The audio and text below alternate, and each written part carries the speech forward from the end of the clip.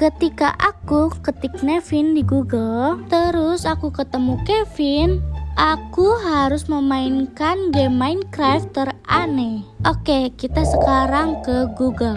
Terus aku ketik Nevin. Yes sir. Setelah itu kita ke gambar. Kita scroll siapa tahu nggak ada si Chom Kevin. Di sini masih aman-aman aja ya guys, nggak ada Chom Kevin. Oke, ada guys, Chom Kevin guys. Oke guys, jadi aku udah ada di game Minecraft KW. Jadi ya bisa kalian lihat di sini uh, bentuk-bentuk Minecraft yang asli sama yang cafe. cafe. KW itu beda banget. It's okay, masih bisa dimainin. Karakternya Roblox? Oke, fix ini melanggar permainkraftan.